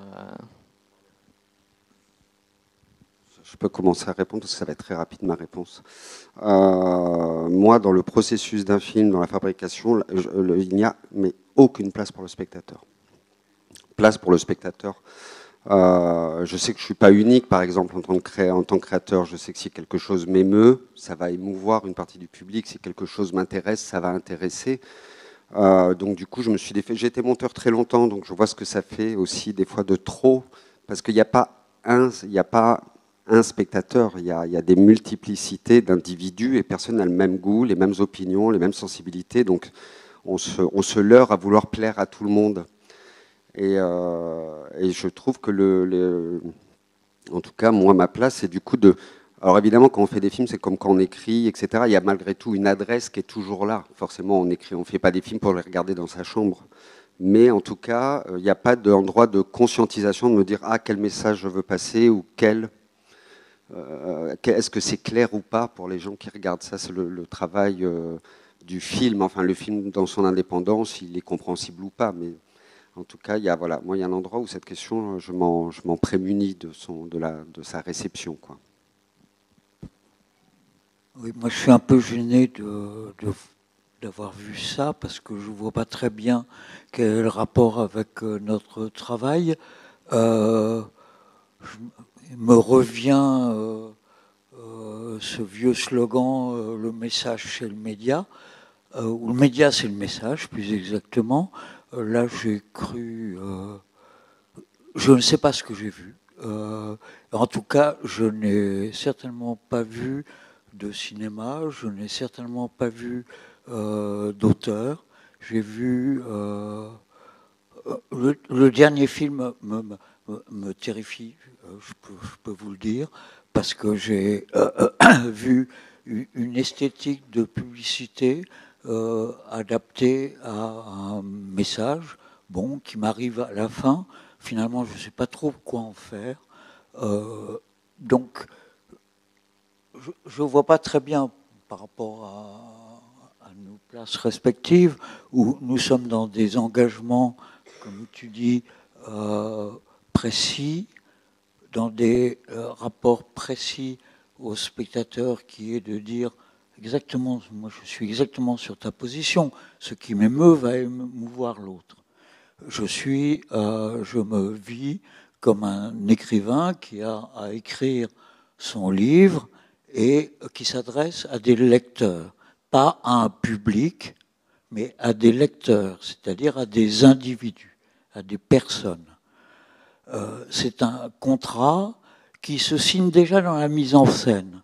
Je, veux dire, euh, quand on voit ces personnes qui parlent à, à, peu près 10 mètres de la caméra et qu'on les entend euh, comme s'ils étaient là, bah, il y a déjà une manière de faire qui qui est complètement artificiel, qui n'a aucun sens. Comment est-ce que quelqu'un, moi, on va avoir, euh, vous êtes au quatrième rang, on va avoir une discussion, vous allez me parler du quatrième rang, euh, et, je vais vous entendre comme si vous étiez, moi j'entends mal, hein, je suis un peu sourdingue, mais je vais vous entendre comme si vous étiez là. On est dans un rapport à la fabrication euh, qui est un rapport marchand, tant pis, je, je, lance la grossièreté, mais euh, je la lance. À un moment, il faut dire ce qu'on pense.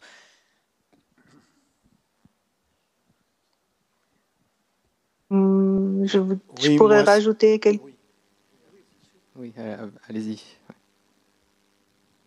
Oui, peut-être ce que je peux compléter, c'est que pour nous, euh, qui distribuons pas dans les salles, mais via les plateformes numériques, euh, il n'est pas non plus question de plaire entre guillemets à un public.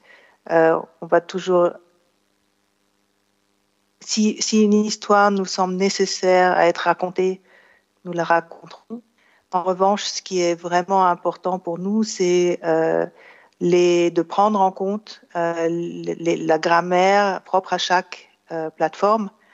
Donc euh, sur YouTube, ce sera par exemple un regard caméra qui est absolument pas l'usage ailleurs. Euh, sur Instagram, les formats verticaux, ce sera peut-être des contenus plus plus personnels, plus qui, qui parlent plus de l'intime, par exemple. Donc, ce sont ce genre de critères que nous sommes obligés de prendre en compte. Euh, nous travaillons d'ailleurs, nous sommes dans l'équipe dans laquelle je suis, nous travaillons toujours en étroite collaboration avec euh, les équipes des réseaux sociaux et la chefferie de projet pour les jeux vidéo ou la réalité virtuelle. Euh, et, je pense que une de nos forces, c'est que euh, ce sont,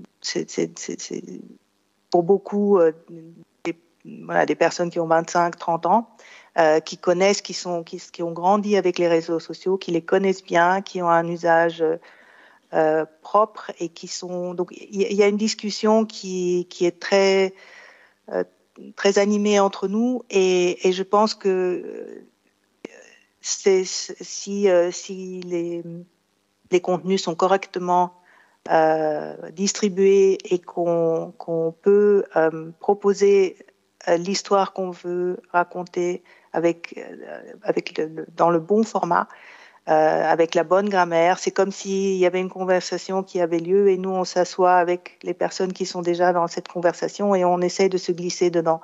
Et ça, c'est vraiment essentiel parce que si on ne tient pas compte de ça, euh, on... personne ne regardera les contenus qu'on fait. Donc voilà.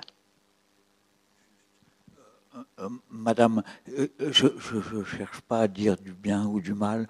En fait, euh, on, on, on, est dans des perspectives qui n'ont rien à voir. C'est tout, c'est la seule chose que je dis. Oui. moi, je trouve qu'on n'est pas je voulais juste compléter pour la partie qui me concerne. Oui, je voulais juste euh, dire un peu comme dit Denis, euh, on n'est pas sur la même planète. Euh, notre, notre souci, c'est pas de raconter des histoires, mais au contraire de faire exploser les histoires pour que se révèle l'humain, pour que, euh, comme disait tout à l'heure Jean-Gabriel, on puisse changer le monde. Il ne s'agit pas seulement de, faire de la communication. Euh, et franchement, je, euh, vois pas ce que ça a à voir dans le débat qu'on a aujourd'hui.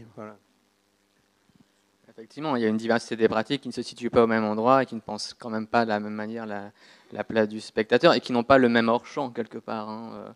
C'est vrai que ben, Jean-Pierre, quand vous faites vos films, le hors-champ, c'est aussi des images médiatiques, une imagerie qui préexiste et que, que, les images que vous amenez euh, visent à défaire.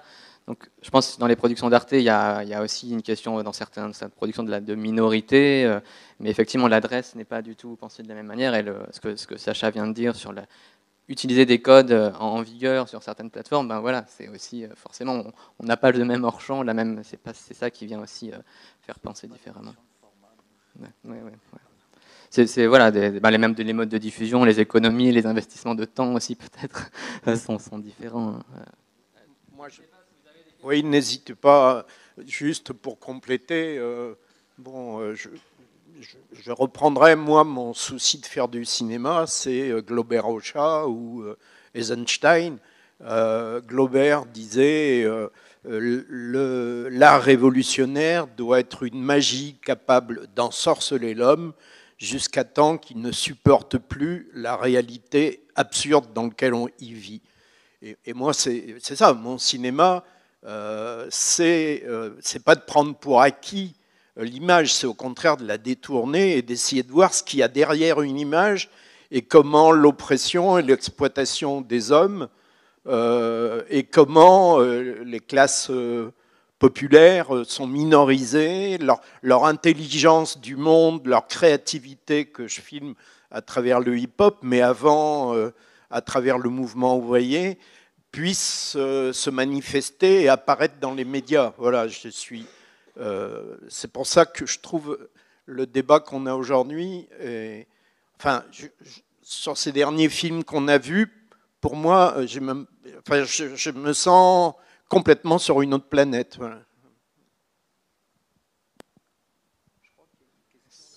Il y a une question vous, êtes amené à programmer des films, à travailler avec des jeunes et des moins jeunes. C'est intéressant de vous positionner aussi par rapport à ces différentes propositions et de voir comment vous, pensez votre public aussi. Hein. Excusez-moi, je prends la parole. Je vous remercie euh, beaucoup, euh, vous trois réalisateurs présents sur le plateau. Moi, j'ai pu programmer euh, Aleyala, donc j'ai pu programmer aussi La vie est immense et Eut-elle été criminelle, donc trois de vos films. Pour le message humain qui passe, pour la réception auprès des jeunes qui est toujours exceptionnelle. Euh, pour euh, leur découverte à chaque fois de, quelque chose, d'un monde dont ils ne sont pas familiers. Et bah voilà, c'était juste un message de remerciement par rapport à ce que vous offrez aux spectateurs et ce que derrière, en fait, ça, les traces qui restent de ces rencontres. Je tiens à vous remercier, mais je pense que si on va plus loin dans le débat, que les films qu'on fait sont absolument de plus en plus rejetés par le système et que justement les grands diffuseurs euh, veulent nous formater, veulent décider avant qu'on aille tourner qu'est-ce qu'on doit tourner, c'est-à-dire le contrôle éditorial. Et euh, je, pense que le documentaire a un rôle majeur dans cette société qui est de renvoyer euh, à des, à ce qu'il y a derrière l'image et derrière les histoires, de révéler euh, les injustices de ce monde. Et, voilà. Et, je trouve qu'il y a un vrai problème aujourd'hui en France, qu'on demande aux diffuseurs de donner leur aval des films qui se feront ou qui se feront pas. C'est pas à eux, les diffuseurs, ils peuvent diffuser, mais pour obtenir l'argent du CNC pour se mettre à filmer, on n'a pas besoin d'avoir un oui ou un non d'un diffuseur. Et je trouve qu'on fait jouer aux programmateurs des chaînes de télévision un rôle qui n'est pas le leur. On leur demande, euh, enfin, c'est une forme de dictature du système qui, qui, ne donne pas d'argent parce que euh, j'en parle là, parce qu'on est tous dans le même cas, on met des années, euh, moi, sur le film que finalement Garel a fait, ça a bien dû me prendre cinq années de ma vie. On écrit, on réécrit, on essaye de se caler dans le système. Et je trouve ça absurde, quoi. C'est-à-dire, il n'y a pas une avance sur recette qui serait pour le documentaire, avec deux gens qui connaissent le documentaire et qui, euh, à partir d'un intérêt public, décident de le faire ou pas le faire. On demande à des chaînes qui ont des cases à remplir, des thématiques à remplir, ce qui est leur droit, mais euh, que les films se fassent et après ils prendront ou ils prendront pas. Donc je pense que le système est, la tête à l'envers. Et voilà, mais bon, euh, on le dit depuis tellement longtemps euh, qu'on est un peu désespéré de voir que ben, ça ne bouge pas, et pour que ça bouge, il n'y a que vous, il n'y a que le public qui peut faire bouger ça. Et pour ça, il faut que les films existent, soient diffusés, soient vus, nous inviter, et je vous en remercie vraiment amplement parce que sans vous, ces films n'existeraient pas. voilà, et le, dernier film que vous allez voir ce soir, L'acre parfum des immortels, je ne suis pas arrivé ni au CNC, c'est-à-dire la, la, profession lourde, l'industrie ne me reconnaît pas le droit d'exister, donc ils ne soutiennent pas. Et, donc, partant de là, on n'a pas de budget hein, pour tourner. Et, de l'autre côté, Arte, qui était dans le temps mon, mon partenaire, je dirais, euh, aujourd'hui disent Ah ben non, c'est pas pour mes programmes. Euh, vous ethnicisez les rapports sociaux. Si ça, c'est pas du contrôle politique, euh, j'ethnicise les rapports sociaux. Mais qu'est-ce que ça veut dire, quoi? Parce que quand je filme la jeunesse des quartiers populaires, qui est black ou rebeuse, ou, qu'on vienne nous dire Mais non, j'ethnicise les rapports sociaux, mais c'est infernal. Et, on est dans ce système-là aujourd'hui. Et donc, on arrive quand même à faire des films à force de patience, de glisser entre les mailles du filet, mais c'est un filet. Romain, je pense qu'on doit terminer. Je voulais juste euh, euh, dire en mot conclusion, remercier tous les présents et présentes. Euh, même à distance. Dire peut-être aussi expliquer, parce que c'était évoqué de façon assez énergique, le sens de décalage. Effectivement, quand moi, Charlotte et le reste de l'équipe avons pensé cette, ce moment, on, s'est rendu compte qu'on montait ensemble des univers très différents, peut-être très différents. Bah déjà, deux métiers différents, celle des cinéastes, des auteurs, d'une part. On, on, a senti que notre rôle était explorer cette question euh, dans le prisme euh, de toutes les professions qui sont, peuvent être touchées, par tous, mais de représenter euh, dans cette journée plusieurs personnalités qui travaillent cette question, euh, chacun à sa place. Donc vous qui êtes présents, c'est plutôt celle des auteurs, mais de l'autre côté de l'écran, il y a une personne comme Sacha Hartmann qui est devenue notre ami qu'on a rencontré pour un projet euh, qui a tout notre métier, celle de justement de penser les nouvelles formes. Et aussi, ça nous a parlé énormément parce que euh, nous travaillons avec des publics jeunes, on essaie de, de comprendre les pratiques des jeunes, euh, d'aller de, voir qu'est-ce qu'ils regardent et ce qui se fait, ce que se fait chez Arte du côté de la recherche de la forme. Vous avez dit format dans un mauvais sens, mais de la forme nous semblait intéressant à porter à la discussion, comment dire, pour ouvrir, en sachant qu'à récréer un effet de euh, explosif peut-être, on ne pensait pas euh, autant peut-être, mais euh, sûrement une, un sentiment de, mise en danger que cette forme, en réalité, le travail sur cette forme de positif comme celle que Denis nous a, parlé ce matin à la projection, nous, fait faire. Et donc voilà, c'était pour replacer l'invitation à vous quatre et Marine Laclotte aussi qui est absente, qui était une autre réalisatrice qui travaille euh, peut-être a été ici hum, senti, ressenti comme décalé par rapport à, votre cinéma, à votre démarche, qu'on respecte et on admire énormément, bah, vous le savez, je, pense, euh, parce que Marine Laclotte est une documentariste qui travaille sur la forme animée, sur un, type, un documentaire différent aussi. Euh, donc voilà, c'est juste pour replacer euh, le sens aussi de cette différence de, de, de, point de vue et que tout voulait être fait en, en, en, amitié, mais je suis sûr de cette amitié. Et merci beaucoup Romain d'avoir animé cette table ronde de façon si intelligente et à tous vous trois et quatre, trois présentes et Sacha Hartmann de l'autre côté de l'écran. Merci beaucoup. Merci. Oui, ah, pardon. Merci Sacha.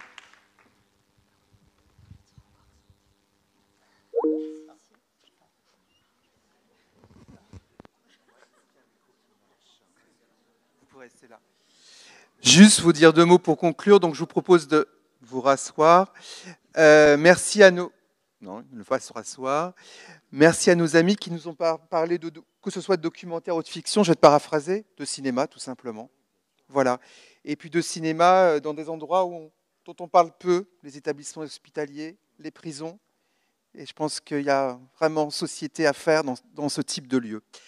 Euh, je voulais remercier l'ensemble des, euh, intervenants, de, de, tous celles et ceux qui sont à la technique en haut. euh, vous pour avoir partagé ces, deux jours et demi avec nous. Ça a été des journées intenses d'échanges et de, débats. Vous rappelez que, euh, alors c'est toujours difficile euh, de, conclure. Moi, j'aime toujours ouvrir. Donc, on va continuer à se battre pour défendre nos dispositifs d'éducation aux images. Je vous invite vraiment à faire circuler cette tribune, que toutes et tous peuvent signer. Hein. On a plus de 650 signatures en quatre jours. Beaucoup d'enseignants courageux ont signé. Donc vraiment signez cette tribune, faites-la circuler. On a besoin de cinéastes qui signent cette tribune euh, pour porter notre, euh, notre, euh, notre combat. Euh, l'année prochaine, nous nous retrouvons à Cannes, euh, début décembre, où là, on explorera euh, encore plus amplement la question des publics.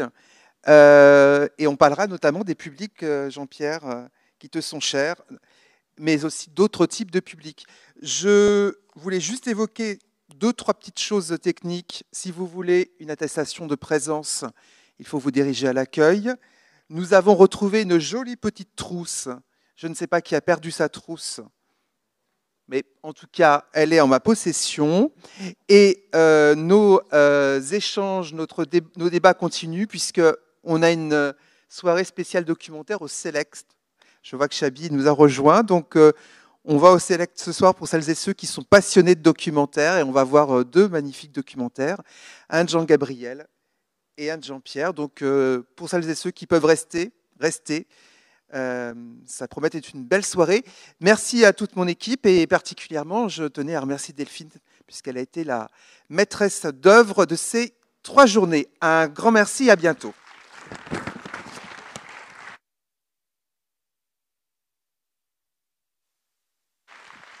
je voudrais ajouter une chose, peut-être qu'on n'a pas assez dit, qu'on vous remercie de votre travail, on sait l'importance que ça a, et sachez qu'aujourd'hui, nos films, que ce soit ceux de Denis comme ceux de Jean-Gabriel, sortent de plus en plus dans une périphérie économique et géographique, c'est-à-dire une séance au Saint-Michel où on n'arrive pas à toucher notre public, et du fait de ces sorties, parce que tout est tenu par les multiplexes et euh, le CNC n'a pas du tout une politique cohérente pour soutenir notre cinéma. Il faut dire les choses. On est en train de crever.